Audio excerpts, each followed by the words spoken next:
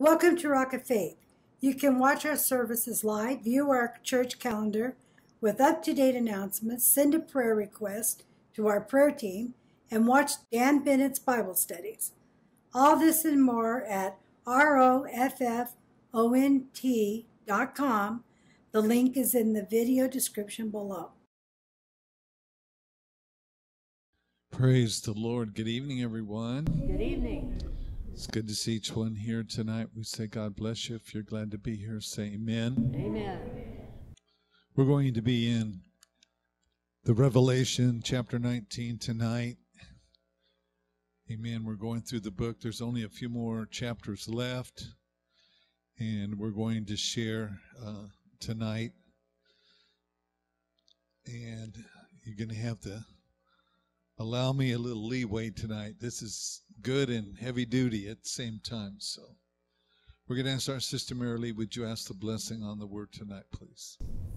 Lord, we thank you again for the privilege of being in your house, reading your word with our pastor, breaking that word to us.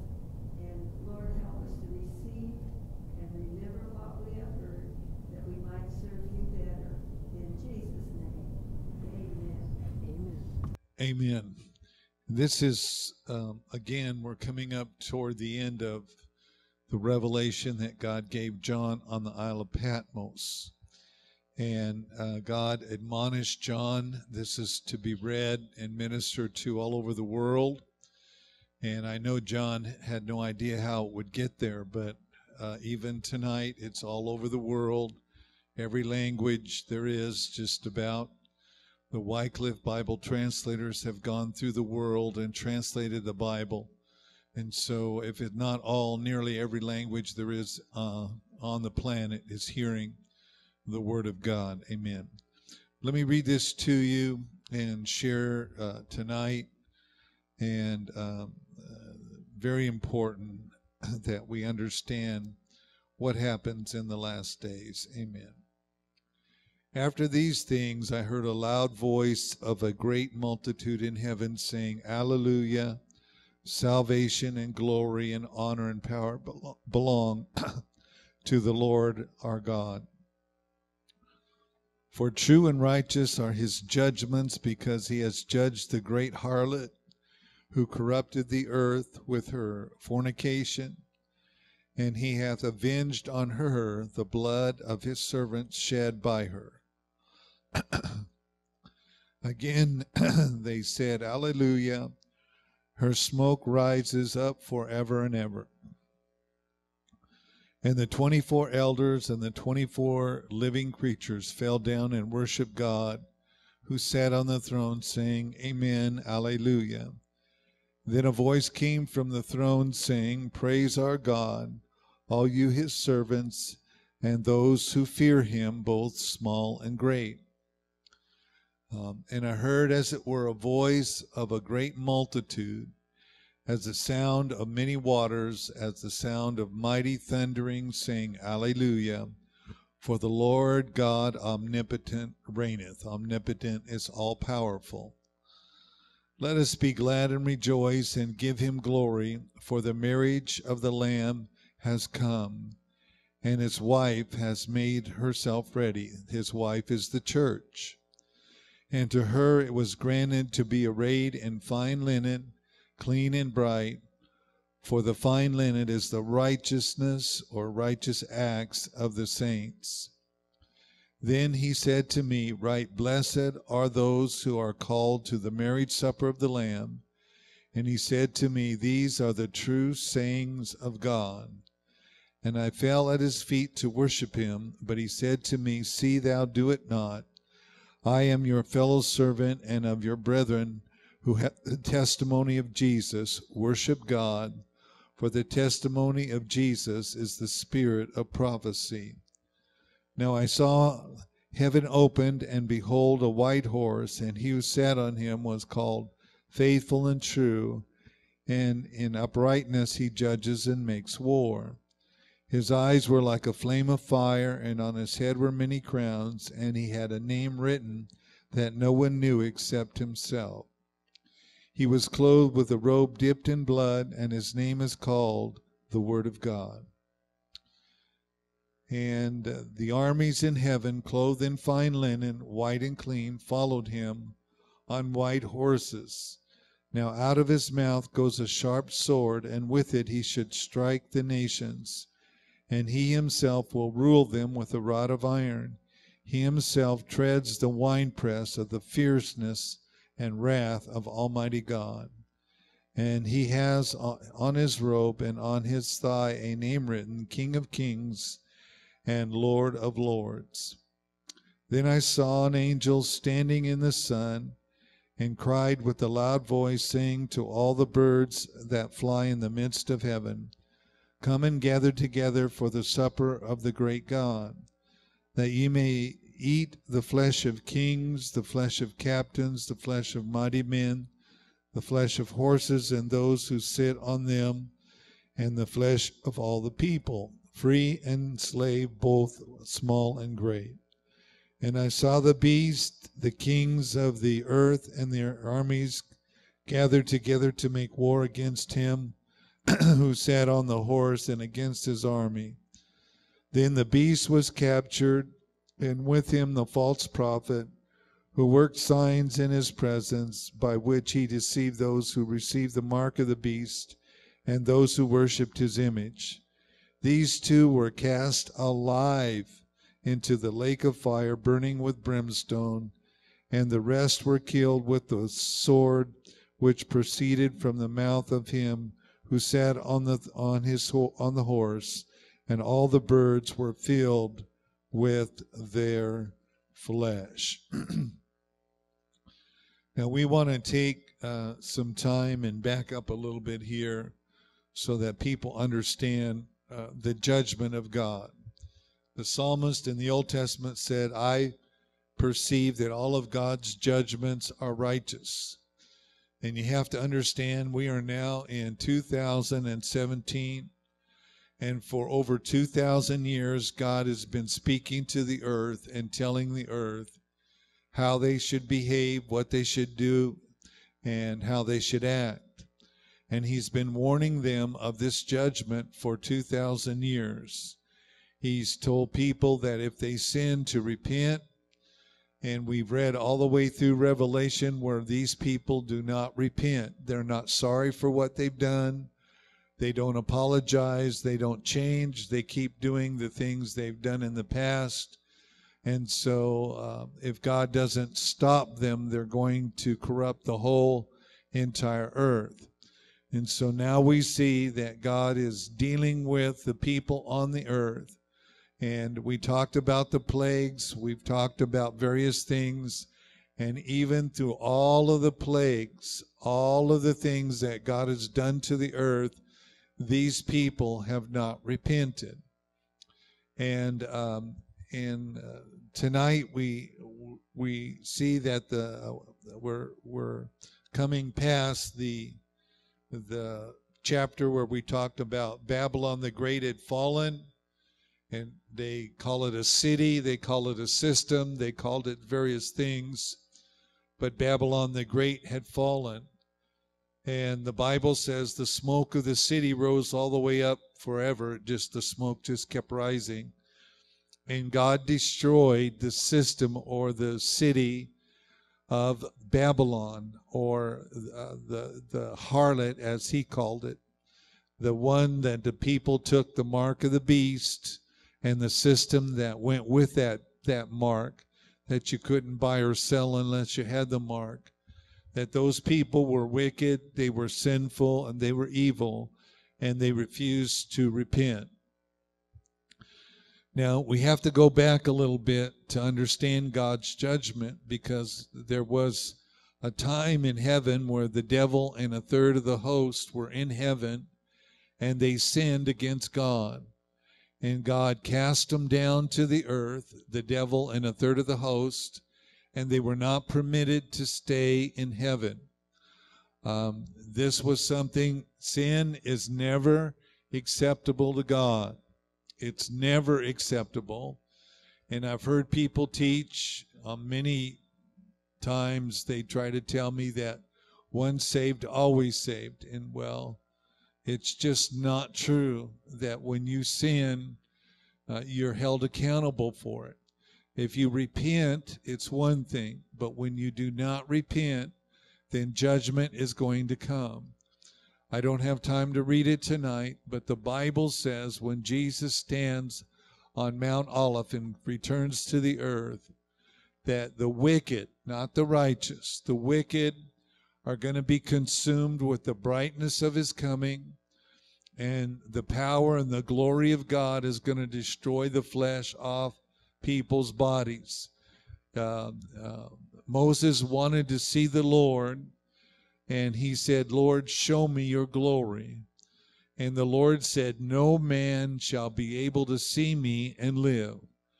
But I will show you my hinder parts. And God put Moses in a cleft of the rock and put his hand over him. And as he passed by, he could see the hinder parts of the Lord and his glory.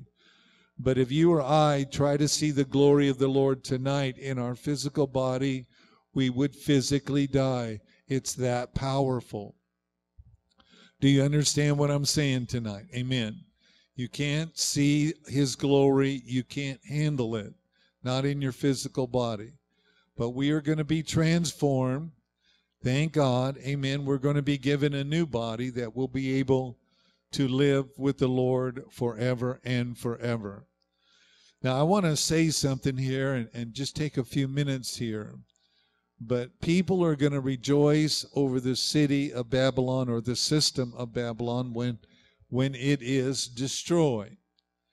And um, I think people today uh, are, don't understand God. They don't understand that God has to judge unrighteousness. God is not going to accept unrighteousness. Today, people feel that God has to accept whatever they do. And I want to tell you right now and warn you that God does not accept everything you do. It is very dangerous to sin against God and not repent. It's very dangerous to, to be in that position. And so, in this situation, we're talking about coming to the last of the last days. We're coming to the end of time. God is getting ready to do some things. In the next chapter, we're going to talk about the millennial reign of Christ. But in this chapter, the judgment of the wicked is coming to pass. There's going to come a day where the wicked have to pay the price. There's coming a time where God's going to say, I've had all I can take of sinful, disobedient people, and judgment is going to be pronounced on them.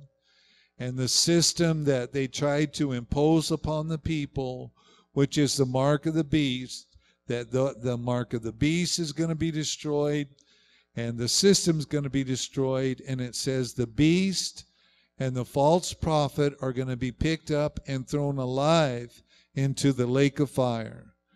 Now, that can't be good, by the way. Hello. That just cannot be good.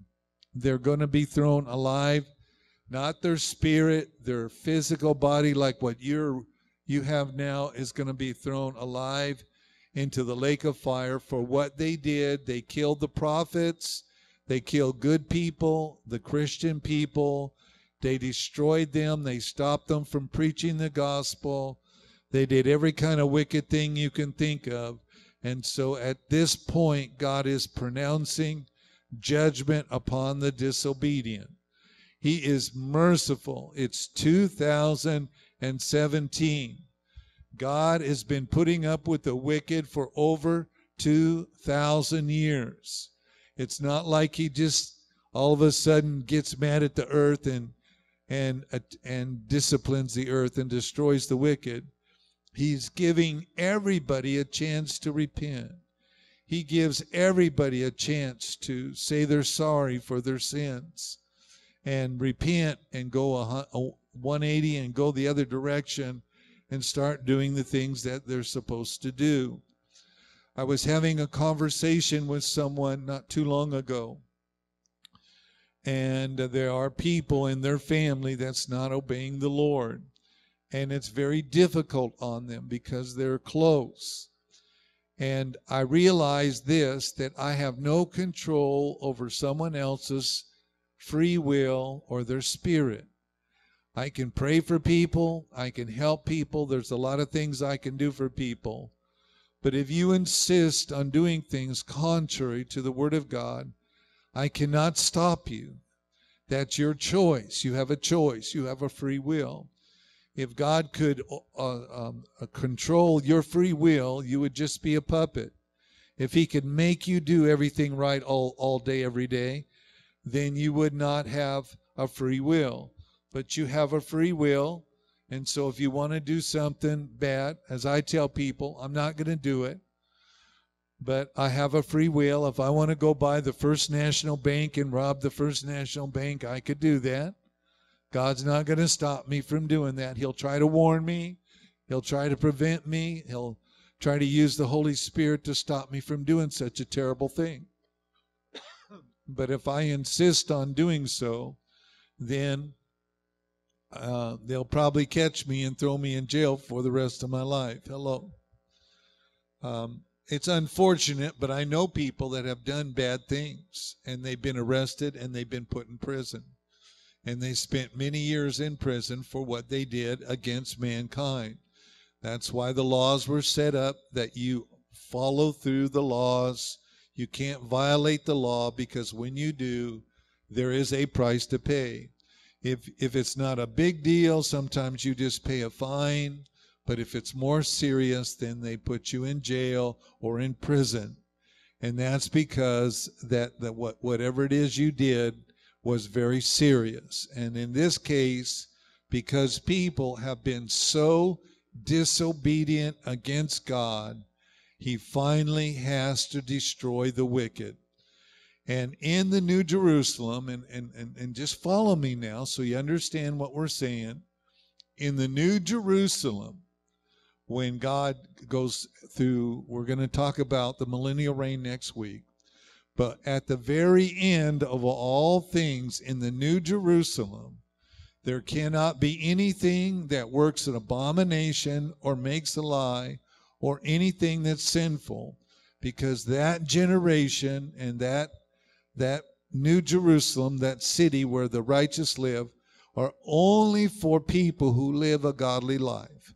And they're going to live forever and ever with the Lord Jesus Christ. And sin cannot enter in there because if he would allow sin to enter in there, it would corrupt the whole city, the whole system. And so, why we go through our trials and tests on the earth, it's to to develop us and get us ready to live forever with the Lord Jesus Christ. He created a system, we call it the New Testament, and He created a system for us to be able to live with Him forever and ever. Um, we know people that don't want to do the system. And I cannot make people do the system. I cannot force people. I cannot change your will, but I can pray for you. And if you can see the light, how many remember the song, I saw the light, I saw the light? Amen. Well, one day I saw the light and I accepted Jesus as my Savior and now I follow his covenant and his direction. And this is what he's been trying to do with generation after generation after generation. And finally, there comes a generation, this generation, that is so wicked and so rebellious and so disobedient that God has to pronounce judgment upon them. Hello. Now we know the story of um, Jonah and Nineveh and the people that were in Nineveh. And God pronounced judgment on Nineveh. And he told Jonah to go preach to them. And Jonah went to Tarsus first.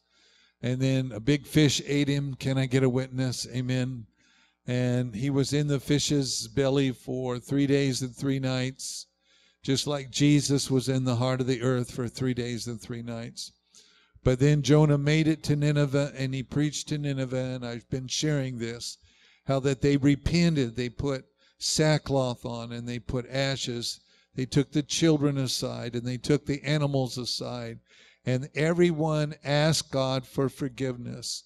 And for three days, they didn't eat anything, they only drank water. And at the end of three days, God turned away his wrath toward that city. And there's something like 350,000 people in Nineveh. And what happened is that God granted mercy because the people did what he's asking us all to do is ask God for forgiveness. Hello. Do you understand? That's all he's looking for is for us to ask for forgiveness and to go that the right direction, turn around and do the right thing.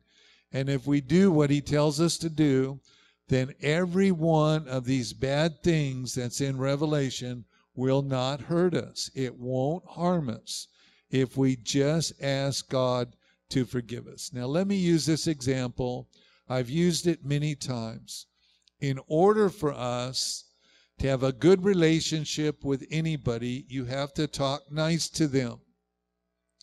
Hello. You need to talk nice to people. If you talk mean to people, you're going to have a separation in your relationship. Can I get a witness? I even say this if I yell at my dog, I'm not going to have a good relationship with my dog. I share this, people know this, but when I yell at Bingo, Bingo's smart. He goes out the doggy door and out by the back slider, and he looks at me, and I tell him, Come here. And he's like, I'm not going in there. I know better. Amen. And he stays outside because I'm angry with whatever he did.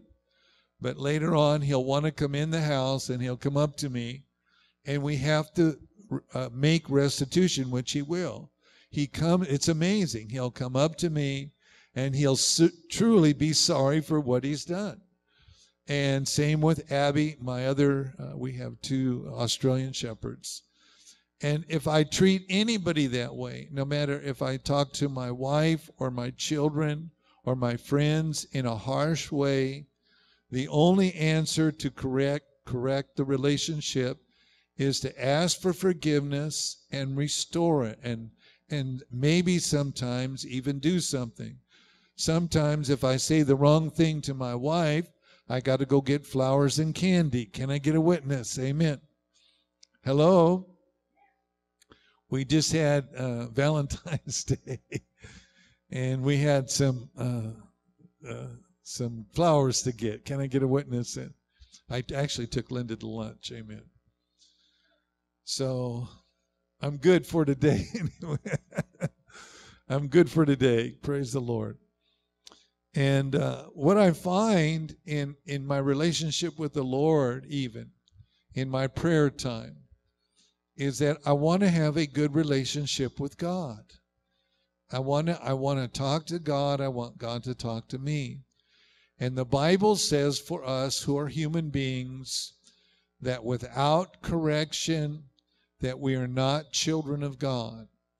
So that means that all of us have a sin nature and all of us need to be corrected on, on a, a regular basis when we do things that are not right. And so God disciplines us. I've been to the woodshed. Anybody been to the woodshed? Hello. It doesn't mean that every second, every day I do something bad. But when I do do something bad or say something bad, then God deals with me and I have to correct it. And that's what makes my relationship with God either right or not. And if I repent and say, God, forgive me, and I keep my relationship right with the Lord, then we can keep on walking together. I can pray. He'll hear my prayer. He'll answer my prayer, and we can walk together. But when I say something mean to God, I don't want to do that, by the way. Or if I say something like no, he doesn't take that too good. Hello. And so now I have to get it corrected. Amen.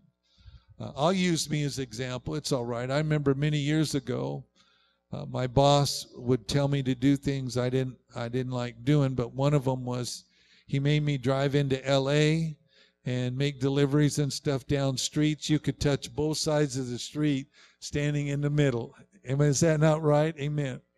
It's so skinny. Amen. I had to drive a bobtail. I didn't like doing it uh, because I wasn't uh, uh, comfortable. I wasn't. I didn't do it very often.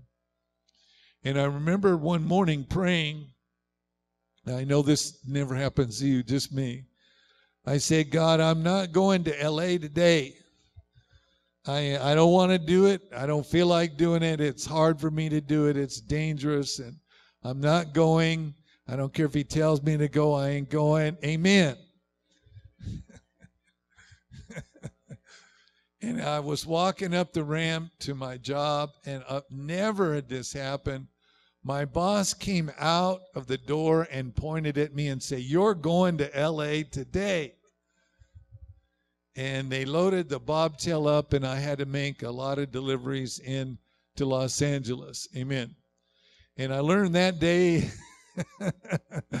that I had no right to tell God what to do. And it wasn't long, amen, that I was doing exactly opposite of what I wanted to do. I was watching a movie one time, and a man said this. He was the boss, and he was telling his men, let's hurry it up. I don't have much time.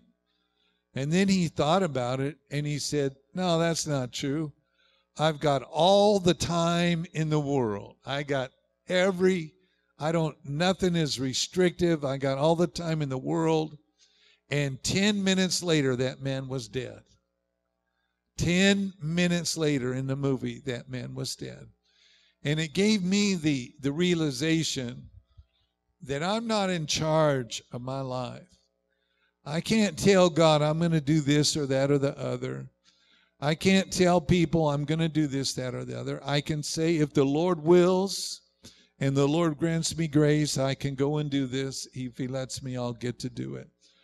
But I can't tell God I'm going to do it. There's too many people in the Bible that tried to do that and it didn't happen. And we cannot we cannot do that. It's not the right relationship. And that's what happened to the devil. He had an arrogant attitude toward God and as soon as he said that he wanted something that he wasn't supposed to have, God expelled him from heaven, and a third of the host went with him. You can't stay with God if you're going to sin. Do you understand that? You can't stay in the same place. You can't stay in the same city. You can't live with Him forever if you're going to have a rebellious attitude. You have to have a submissive attitude, an obedient attitude, and then you get to live with the Lord forever and ever. I shared it last week and I'll share it again. It said if we honor our father and our mother, it will be well with us and we'll live long on the earth. And that means the blessing will come because we'll be submissive to those who are in authority over us. And I have found over the years that people that are older than me, amen, need respect. They need uh, submissiveness. In the Old Testament, it said we're supposed to bow to the gray head. And it just means we're supposed to be respectful to those that are older than we are. Every now and then, I'll see someone older than me, and if I can help them up a curb or if I can help them through places, then I'll do whatever I can do to help them out. I'll have to admit that there are people that say things to me. When I go to the grocery store, they say, Can I help you with your groceries? And I tell them, No. I'm just fine. when I go to Home Depot, they say, Can I load your truck? No, I can do it. I can do it. I can load it. Amen. I, maybe I can. It might kill me trying to get that stuff in the truck, but I'm going to load it in there. Amen. I know you're not like that, but I am. Amen. They're supposed to treat me nice, but I can do it. I find that the realization as I'm getting older is that there are certain things I can't do that I used to do. And I have a son that's a weightlifter, and so I don't lift stuff anymore. I say, Hey, Matthew, come on over here. I need your help today, man. And they can put it in the truck or take it out of the truck. Uh, we went one time, my wife and I went. He likes to lift weights. And we went to a sporting goods store to buy him weights. and I can't remember how much they were now. They were either 100 or 150 pounds each. And um, um, there's just no way I could pick them up. There was just no way I could do it. And even the man, the salesman that was there in the store, got a a um, hand truck or dolly and put them on the hand truck. And then he didn't just take them up there. He took them all the way out to my car, truck, whatever we had at the time, and he put them in there. And I thought, that's the only way they're getting in the truck because I'm not putting them in there. And so when we got home, I just told Matthew, "You're gonna, we're gonna show you your your Christmas present, Amen. You're gonna know what you get early, Amen." And he went out to the truck and took him out of the truck, so he knew what he was getting for Christmas, Amen. The things we go through today, and and and I want to share this so we understand where we're at tonight the trials and tests that we go through are to prepare us to be able to live with the Lord forever. They're not trials and tests to just punish us to punish us. They're not they're not disciplines that just to cause us trouble and anguish. They're to get us to change our attitude and our spirit to where we're submissive to God. And when he asks us to do something, he expects us to say yes. When He asks us to, to, to do anything, whatever it is in the Bible, then that's what we're supposed to do. And our trials and our tests, the Bible says that the testings that we have today, the trials and tests, are not worthy to be compared to the glory that's going to be revealed. So, the disciplines, the challenges that we have in the earth today are nothing compared to what God's going to bless us with if we'll just be submissive. If we'll just submit to God and be obedient to the Spirit of God, God's blessing will remain on us forever and forever. And it's really a light thing, it's really a very small thing for us to obey the Lord. There's no reason for us not to uh, be obedient to God. There's no reason for us not to uh, be surrendered and, and, and be obedient to God and treat people correctly. God expects us to, to, to, to say nice things to people and, and, and to be the kind of light that He put us on the earth for. Uh, there's plenty of people that are mean people. Can I get a witness? There's plenty of people that are rude. There's plenty of people that are obnoxious and impossible to get along with. But he's looking for somebody that will be willing to submit to the word and spirit of God that will allow him to use them in, in, in this earth so that people can see the glory of God. I have often been around, and in fact, I, I, I came across a book about it, but I've often been around Christian people that are not nice. Hello. It's awful quiet in this church tonight. I've been around Christian people that are mean to other people. I've even heard preachers preach sermons that would peel the skin right off your body. Hello. Amen. That's not what God intended for us to be like.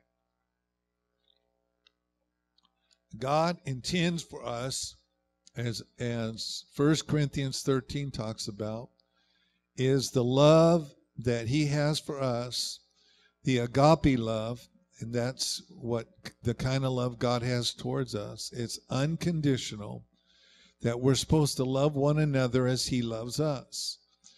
And the Bible says that God sent his son all the way down from heaven to come to this earth to die on the cross and to share his love with all humanity. And so, with that aspect, as God sh- has shown that kind of love towards us, we're supposed to show love towards one another. And unfortunately, you don't see that everywhere. I happened to go to a church one time and they asked me to get up and just share a few words. And it's been our custom, and I don't think anything of it, I just do it.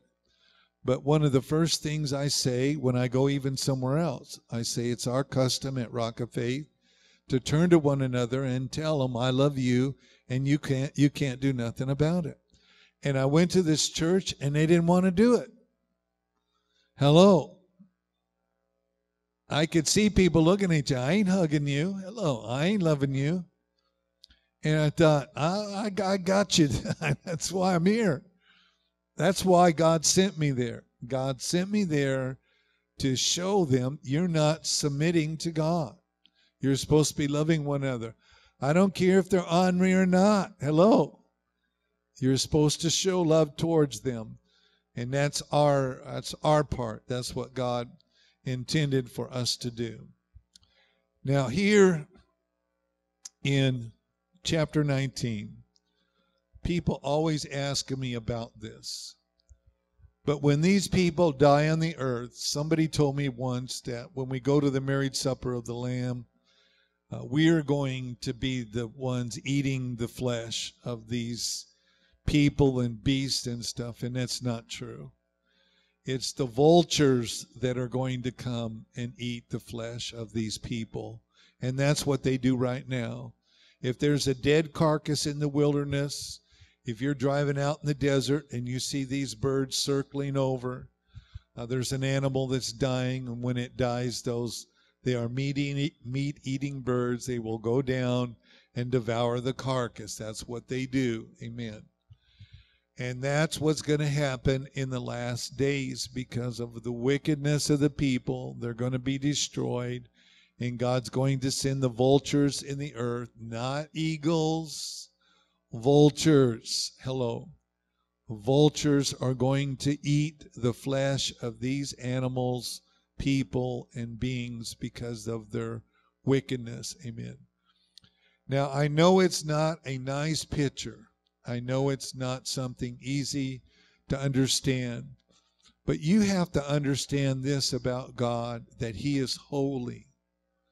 God is a holy God. And you cannot live with God in a sinful condition. You can't do it. You can't live in the same house with God if you're going to be disobedient. So, this is a very special issue here tonight because these people think they can live ungodly and still get to heaven. And they can't do it. We've uh, we read before. Y'all can smile anytime, won't bother me at all. Hello. Jesus said, Many are going to knock and say, Let me in.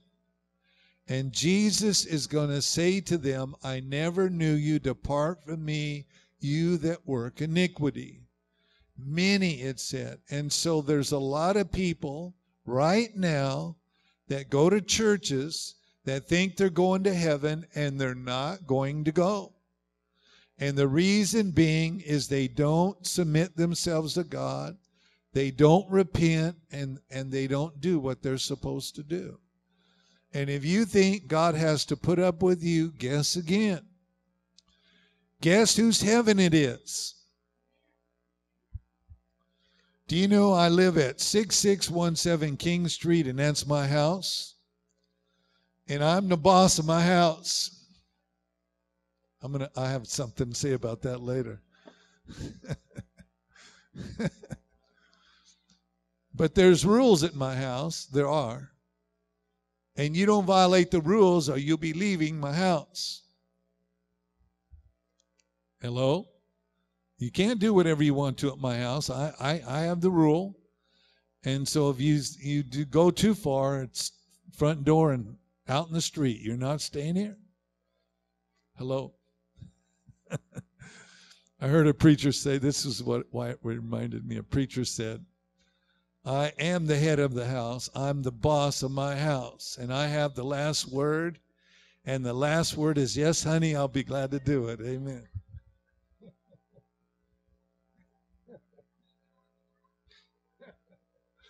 I'll be glad to do it. Yes, ma'am. Yes, ma'am. I'll do it. I'll do it. God's intent for us was to become more submissive.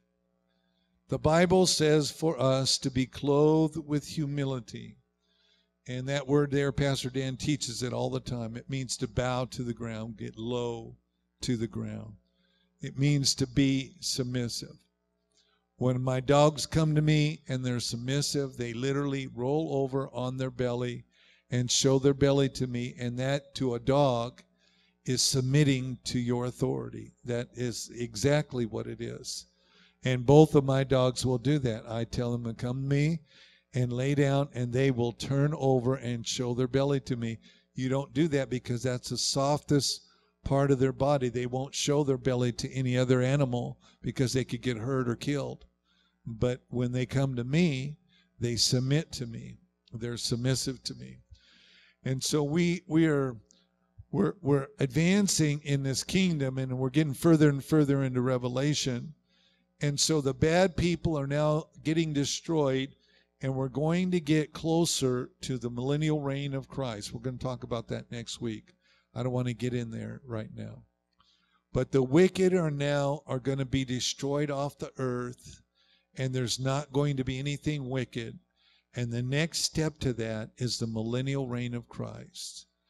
And that is that Jesus is going to rule and reign for 1,000 years. And for a thousand years, the Bible says, we have a picture of over here. The lion will lay down with the lamb. A child will be able to stick his hand in the cockatrice's den.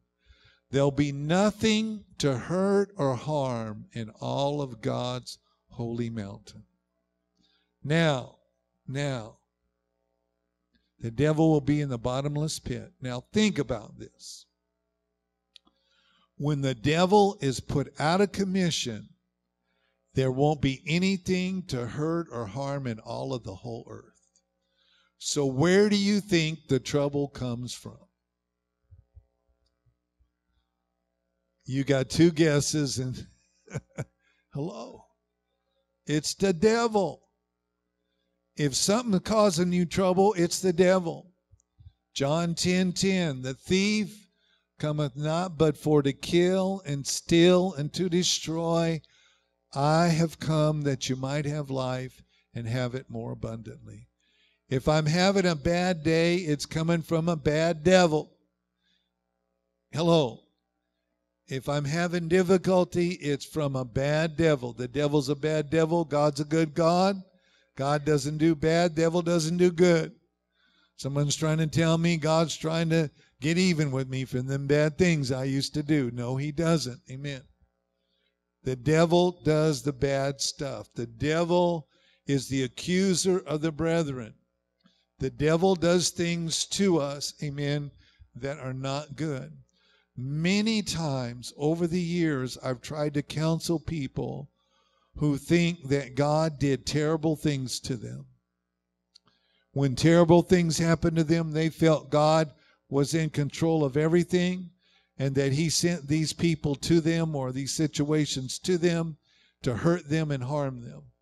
And I tried over and over to express to them that God doesn't do wickedly and He doesn't sin and he wouldn't go and send somebody to hurt you. If he wants you out, he'll just take your spirit out of your body and you will fall over.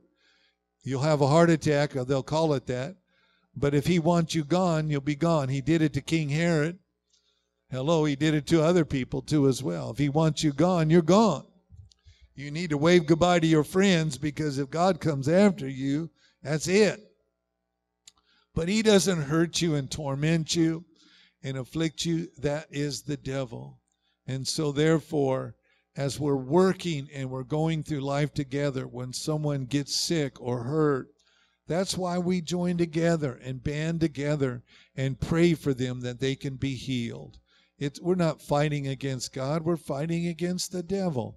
We're trying to help each other get through the, this life. Anybody have any trouble at all in this life? I know I do. Hello.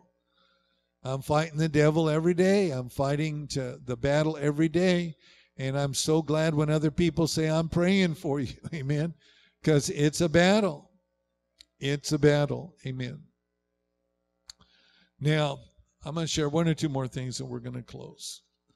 Someone, oh, not just one, many people ask me, Are there animals in heaven? And I can absolutely declare to you there's at least white horses there because Jesus is riding one of them, and so are the saints. there's a movie said all dogs go to heaven, and I believe that. Amen. Amen. I don't know if I, I can't even think of all, all the other things that are there in heaven, but nevertheless, there's at least white horses because we got scripture on it. We have a chance to make heaven. We have a chance to go from where we were born. I think about it all the time, where I was born in El Monte, and I come from a background, a very modest background. And I have a chance to enter into the kingdom of heaven from where I come from in my circumstances and situations, I have a chance to go into heaven and go into glory and to dwell with Jesus Christ forever and ever. But He's requiring something of me. Do you understand? He's requiring something from you. He's not asking you to swim across a great river and climb Mount Everest or do something else. He wants you to be submissive to Him. And if you're submissive to Him and do what the Bible says, you get to live with Jesus forever and ever. When you accept Christ as your Savior, He gives you the gift of eternal life. That is with the condition of you being obedient to Him. And as long as you do that, you have the gift of eternal life. That means you, your spirit, will never die. You'll get to live with Christ forever. And the eternal life that we get, you're going to live forever anyway. But the difference is you get to live with Jesus forever instead of the devil. Hello. No, I don't I don't want to live with that guy forever. Amen we find ourselves in in in when we study the word of god i don't like to skip over scripture. I have talked to many people. Many denominations do not read the whole bible. Many of them tell me they read the whole bible but they don't read the whole bible. Many of them skip over scriptures and don't acknowledge them and just go right by them. You can't you can't get past this this is a revelation that Jesus gave to John that we must listen to. And if we don't do that, we're going to get ourselves in a lot of trouble. This is God speaking to us through John. And John wrote these words down.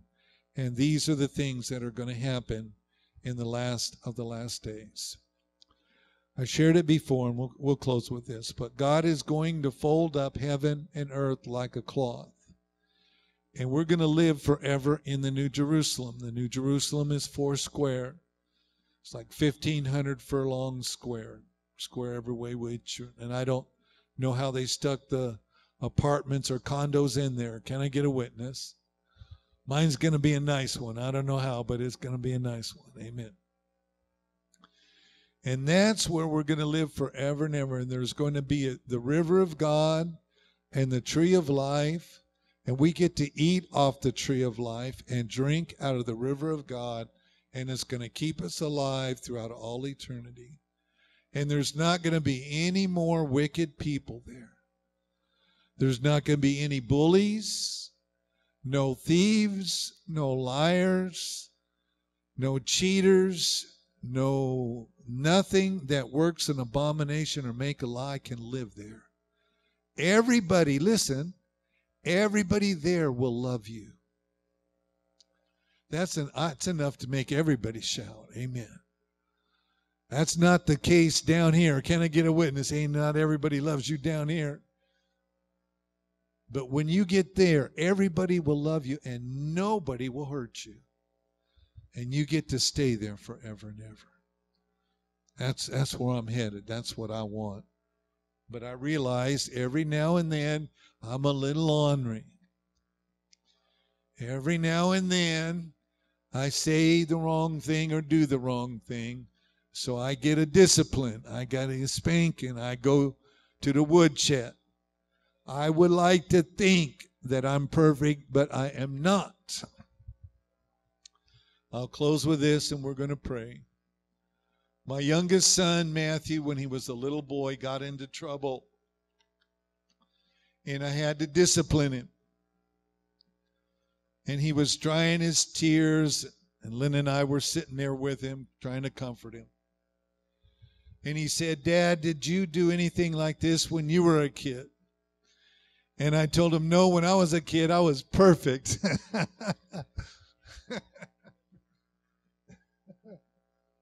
no, man, my close my eyes right now, I could feel the spanking my mother gave me many times. Amen. Hello. Can I get a witness? I still feel it. Amen. I can it was 50 years ago. There's more. More 60 almost. Amen. Yeah. No, I'll never forget one spanking I had. I had got caught in the garage sneaking away playing baseball with my friends. I was supposed to be in my bedroom. I was put, sent there. No fun being in the bedroom. When I was a kid, there was nothing in the bedroom. No TV, no radio, no uh, computer, no games, nothing. Four walls. I mean, that was it. And I snuck out my window. We didn't have a garage, we had a carport. And I went to the carport and I played baseball with my friends up the street.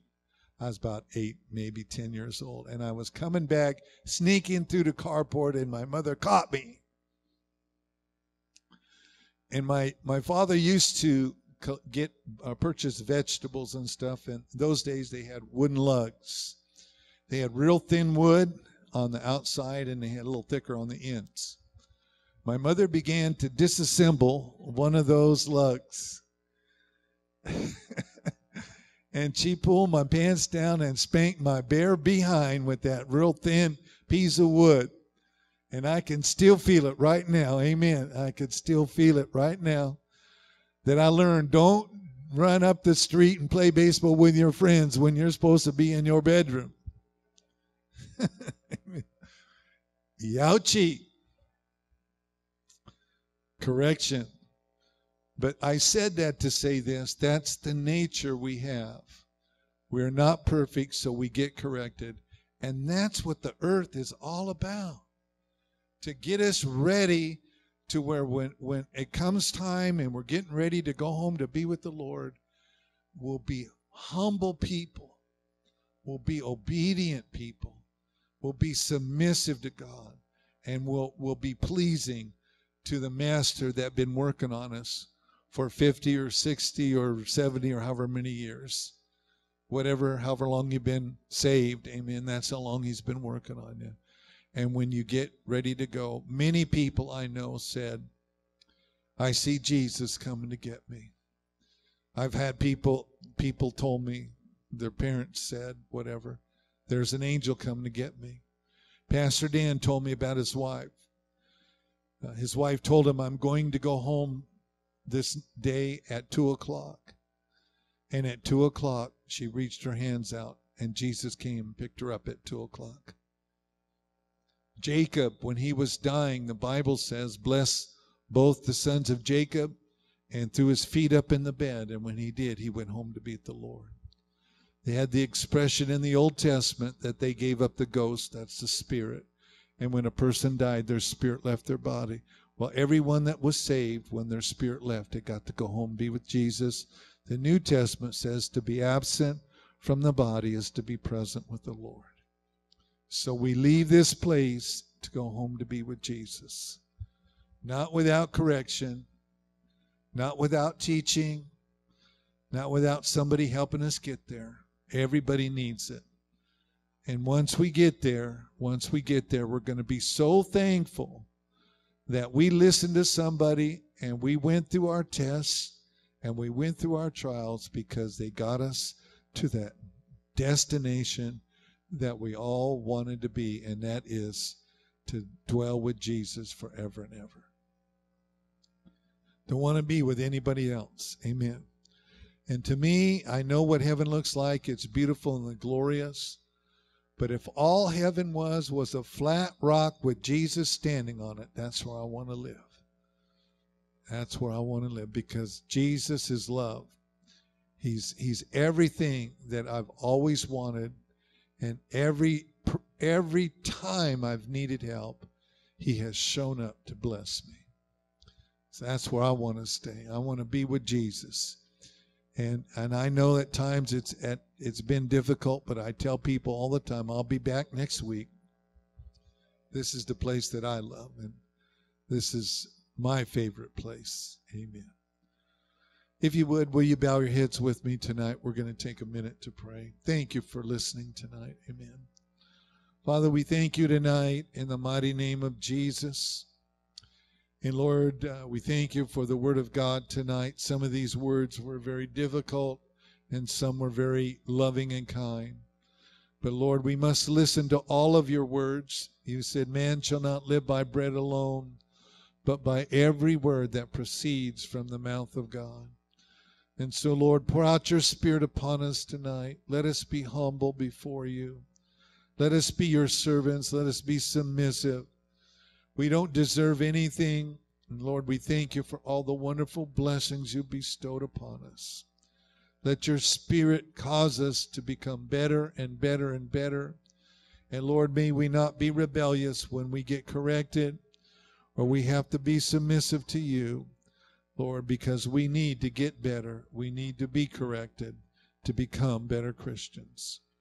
Lord, we thank you for each one that's here tonight. May you pour your spirit out upon us. Let your spirit bless us in a special way, and we'll give you the glory and the praise and the honor for it. We ask it tonight in your name, the name of Jesus. And everyone said, Amen. Praise Lord. Anyone tonight needs special prayer. If you'd like us to pray, we'll do that. We'll be glad to pray with you. Amen. Anyone at all. Amen. All right. Would you stand with me then? We're going to go ahead and uh, praise the Lord. We're going to go ahead and dismiss. Would you turn to your neighbor and tell him, I love you and you can't do nothing about it? Tell him I love you and you can't do nothing about it. Amen. We'll be here Sunday morning and evening again. How many enjoyed Pastor Dan last week? Amen. Wonderful. Coming up this Sunday, regular services. Let's enjoy them. Amen. As we can. Sister Mary Lee, would you dismiss us, please? Lord, we're so grateful to you for your blessings of this hour. We've uh, enjoyed your word. Uh, we receive much comfort through the, your word, through our pastor. Thank you, Lord, for all that you do for us. We pray you go with us to our homes and make us a blessing when we arrive and bring us back again on Sunday. In Jesus' name, amen. Amen. Amen. God bless you. Greet someone before you leave and tell them you're glad they came. God bless you really good. Amen. Thank you for watching Rock of Faith. If you liked our service, please like and subscribe to our channel. If you really like our service, share it with a friend or family member. For the latest news and announcements, please go to our website, roffont.com. Our Google Calendar is on the front page. You can find the link in our video description.